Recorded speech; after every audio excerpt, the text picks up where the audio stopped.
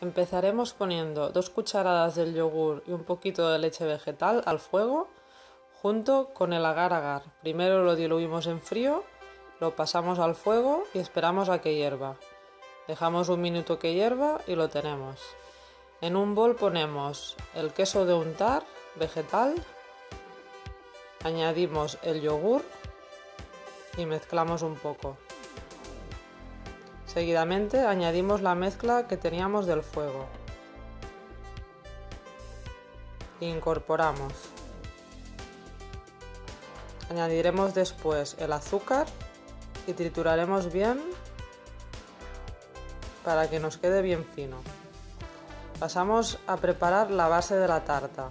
Trituramos las galletas y añadimos el aceite vegetal elegido y nos tiene que quedar una textura como de tierra mojada. Ponemos la base en el molde, alisamos bien prensando un poquito y seguidamente añadimos la mezcla de la tarta. Alisamos bien la superficie y dejaremos enfriar en el frigorífico mínimo una hora. Ahora vamos a preparar la cobertura de mango. Diluimos en agua un poquito de azúcar y el agar agar y ponemos al fuego que hierva. Lo añadimos al mango y trituramos. Incorporamos la capa encima de la tarta y dejaremos enfriar mínimo una hora más. Podemos también dejarlo en el congelador para que nos coja más cuerpo y poder desmoldar mejor. Desmoldaremos y vamos a decorar al gusto.